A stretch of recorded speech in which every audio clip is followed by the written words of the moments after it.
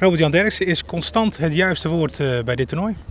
Uh, ja, ik denk dat het een mooie opsomming is. Uh, alhoewel ik vandaag beter speelde dan de andere dagen, vond ik zelf. Maar miste ik wat putjes. Ehm, ik gaf mezelf heel veel kansen vandaag. Maar als je na het puur kijkt naar de scores, was het gewoon een heel constant, ja, solide toernooi. Je stond ergens in de ronde al op min 7. Dacht je toen even van, hé, hey, nog een paar birdies en ik kom heel erg in de buurt van de top? Nee, ik heb in principe niet naar het scorebord gekeken. Of ja, je kijkt er wel naar, maar ik kijk meer wie er dan gaat winnen, bij wijze van spreken. Niet zozeer waar ik zelf in die positie zou staan.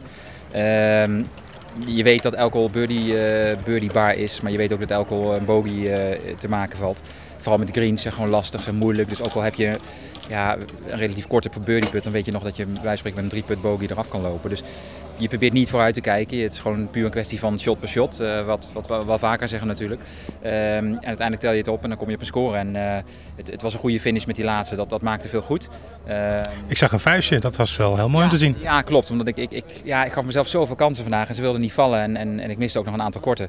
En als je dan een, een ja, relatief moeilijke put op de laatste maakt. Dan, ja, dan maakt het zoveel goed. Omdat je dan bij wijze van spreken de komende zeven weken daarvan kan genieten. Want ja, dat is toch heel bijzonder. Schiet er dan ook iets door je hoofd van, hè, het seizoen zit erop?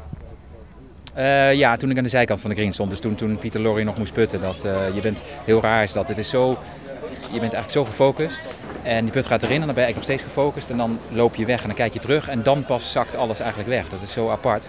En uh, dat is wel, ja, vooral omdat ik de put maak, natuurlijk een mooi gevoel. En dan, ja, dan, dan kan je terugkijken op een mooi, mooi toernooi vakantie vieren, trainen en terug naar de woestijn uh, half januari? Daar komt het eigenlijk op neer, ja. dus uh, nee, helemaal waar, ja. Vakantie, uh, tijdje rust, maar wel fysiek veel, veel doen. Uiteindelijk weer naar Florida om daar te gaan trainen met Tom en met, met Paul Hurrian. En dan ben ik in Abu Dhabi er weer bij. En dan is er nog de American Dream. Hoe staat het daarmee? Ja, dan zal ik eerst moeten winnen. Dus hopelijk dat 2011 het jaar van, van de win wordt.